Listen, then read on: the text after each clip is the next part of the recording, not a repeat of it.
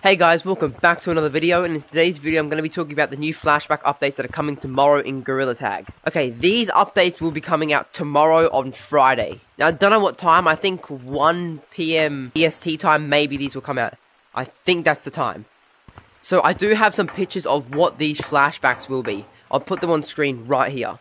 So there is a music flashback and a Wild West flashback. Now there might be one more, I'm not sure. But that's uh, pictures that I have. Now, there could be a possible beach revamp happening tomorrow.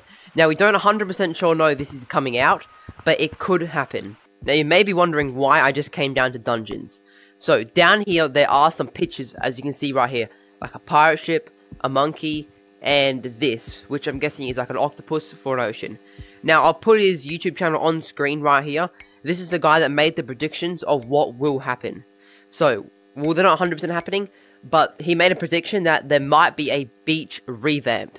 Now, he made these predictions because every other map have received a revamp besides forest and beach. So last, I gotta say where these flashbacks will be. So some flashbacks will be in here, some of the bigger flashbacks will be right here, and the flashbacks that are left over and can't fit down there will be here, exactly on the second floor. So that's going to wrap up today's video, guys. Don't forget to like and subscribe and put on the bell because I will be updating you with heaps of news in Gorilla Tag that you would not want to miss out on. So don't forget to like and subscribe, check out my other videos, and bye.